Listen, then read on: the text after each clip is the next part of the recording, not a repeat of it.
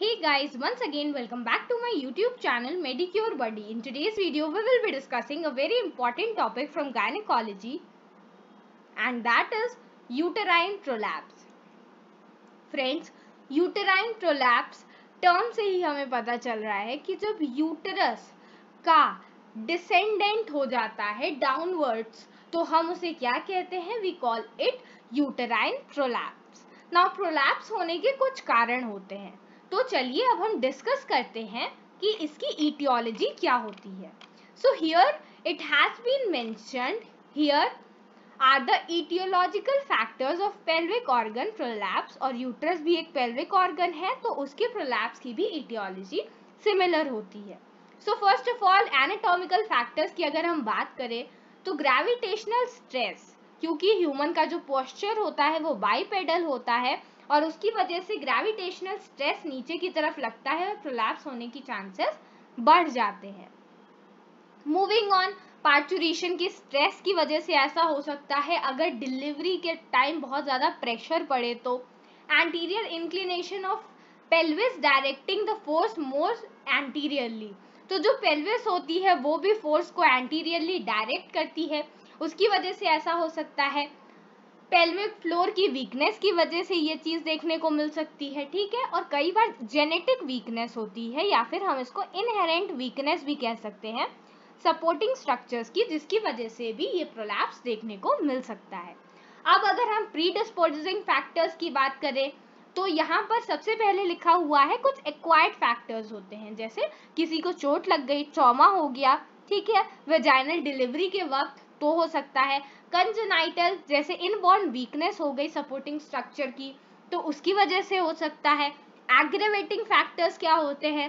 Post menopausal atrophy हो गई अगर, ठीक है? या फिर कोलाजन टिश्यू कोलाजन जो होता है, वो सपोर्ट करता है स्ट्रक्चर्स को। तो अगर पुअर कोलाजन टिश्यू रिपेयर हो रहा है, या फिर इंट्राबडोमिनल प्रेशर किसको बहुत, किसी को बहुत टाइम से क्रोनिक लंग डिज़ीज़ है कॉन्स्टिपेशन है तो वो बहुत ज़्यादा अगर प्रेशर लगाता है तो उसकी वजह से भी ये चीज़ प्रोलैप्स देखने को मिल सकती है, ठीक है एस्टीनिया ऑक्यूपेशन अगर कोई वेट लिफ्टिंग का ऑक्यूपेशन करता है, बहुत हेवी वेट उठाता है ओवर स्ट्रेनिंग हो जाती है तो उसकी वजह से भी प्रोलैप्स देखने को मिल सकता है so these were the few of the etiological factors which are responsible for pelvic organ prolapse.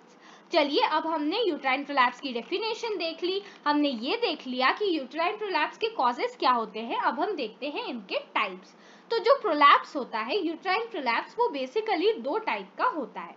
पहला होता है यूटेरो वेजाइनल प्रोलैप्स इसमें क्या होता है? प्रोलैप्स यहाँ से देखिए utero that means uterus vaginal मतलब वेजाइना तो uterus cervix and upper vagina का अगर प्रोलैप्स देखने को मिल रहा है तो we call it utero vaginal prolapse ठीक है? इसमें cystocele occurs first following traction effect of the cervix causing retroversion of the uterus so इसमें क्या होता है? सिस्टोसील मतलब होता है ब्लैडर तो यहाँ पर जब ब्लैडर का प्रोलैप्स होगा तो उसके बाद ही सबसे पहले यूट्रोवेजाइनल प्रोलैप्स में ब्लैडर का प्रोलैप्स होता है और उसके बाद ही वो बाकी स्ट्रक्चर्स को बाहर की तरफ़ ले आता है। ठीक है? तो this was the first type of prolapse जिसको हम कहते हैं uterovaginal prolapse next type of prolapse क्या है? नेक्स्ट टाइप ऑफ़ प्रोलैप्स है कंजेनाइटल प्रोलैप्स इसके साथ कोई भी एसोसिएटेड सिस्टोसील नहीं होता है। मतलब ये कैसे भी ब्लैडर के साथ एसोसिएटेड नहीं है। The uterus herniates down along with inverted upper vagina इसमें यूट्रस ही नीचे की तरफ़ आता है, ठीक है? और ये ज़्यादातर नली पैरस वुमेन में देखने को मिलता है, इसीलिए हम इसे नली पैरस प्रोलैप्स भी कहते हैं। कंजेनाइटल टर्म से ही पता चल रहा है कि अगर बचपन से ही किसी के पेल्विक ऑर्गन में वीकनेस है और उसकी वजह से प्रोलैप्स हो रहा है so we call it what we call it congenital uterine prolapse ठीक है, यहाँ तक क्लियर हुआ। अब हम डिस्कस करते हैं डिग्रीज ऑफ़ यूटेराइन प्रोलैप्स अभी तक हमने टाइप्स डिस्कस की now will talk about the degrees so so, यहाँ पर जो प्रोलैप्स है ये टोटल थ्री डिग्रीज में डिवाइड किया जाता है। ठीक है? The first degree that we will be talking about is the first degree prolapse in which here it has been mention कि जो यूट्रस है वो डिसेंड करता है नॉर्मल एनाटोमिकल पोजिशन से बट वो एक्सटर्नल ऑस के ऊपर रहता है।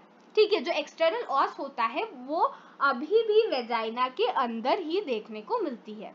तो ये होता है फ़र्स्ट डिग्री प्रोलैप्स नेक्स्ट है सेकेंड डिग्री जब जो एक्सटर्नल ऑस होता है, वो प्रोट्रूट कर जाता है आउटसाइड द वेजाइनल इंट्रॉइटस लेकिन जो बॉडी होती है, वो अभी भी वेजाइना के अंदर होती है. ठीक है? और थर्ड डिग्री को हम प्रोसीडेंशिया या फिर कंप्लीट प्रोलैप्स भी कहते हैं.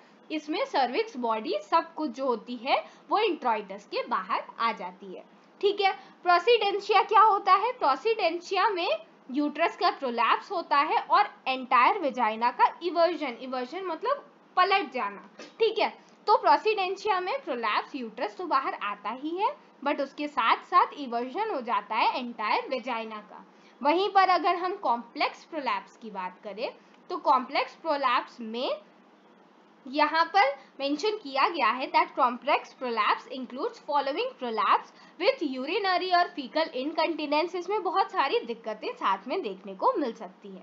ठीक है तो यहाँ पर ये स्टेजेस ऑफ़ प्रोलैप्स मेंशन करते हुए ये टेबल मेंशन की गई है, जो कि पेल्विक ऑर्गन प्रोलैप्स की क्वांटिटेटिव स्कोरिंग पे बेस्ड है। इसमें स्टेजेस दिए हुए हैं और वो कितना प्रोलैप्स कौन से स्टेज में होता है दैट हैज़ बीन मेंशनड ठीक है यहाँ पर देखिए स्ट्रक्चर दिया हुआ है दैट सबसे पहले ये एक्सटर्नल ऑस का लेवल है, ठीक है?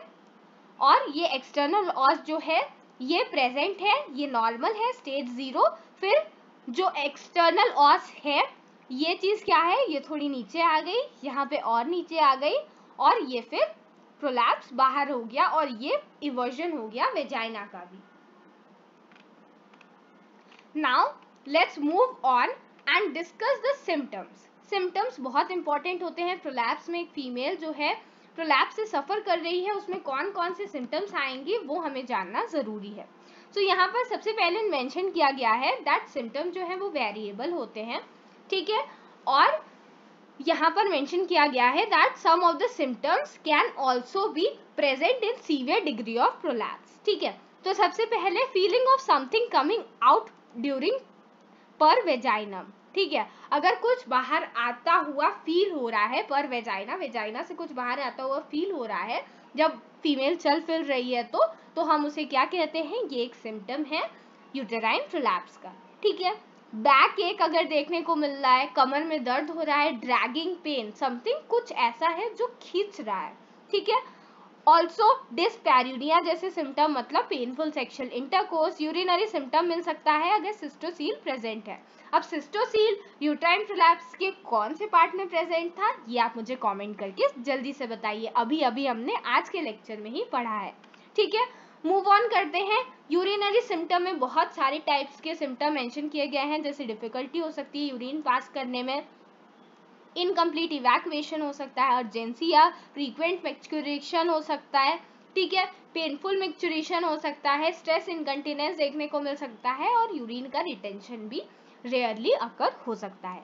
बॉबल सिम्टम में अगर रेक्टम भी बाहर आ रहा है रेक्टोसील की कंडीशन भी है तो bowel symptoms like difficulty in passing stool constipation ये सारी प्रॉब्लम देखने को मिल सकती है। ठीक है, अब हम देखते हैं कि हमें डायग्नोसिस कैसे करनी है। तो हम वेजाइनल रेक्टल एग्जामिनेशन कर सकते हैं। उससे हमें पता चल सकता है कि जो प्रोलैप्स है, वो कैसे जो पार्ट्स हैं कि वो सिस्टोसील का हो रहा है मतलब ब्लैडर का हो रहा है रेक्टम का हो रहा है, किस चीज़ का हो रहा है, ये हमें पता चल जाएगा।